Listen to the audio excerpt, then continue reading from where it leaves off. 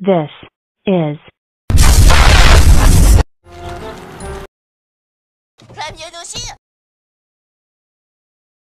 Okay, let's do pitches.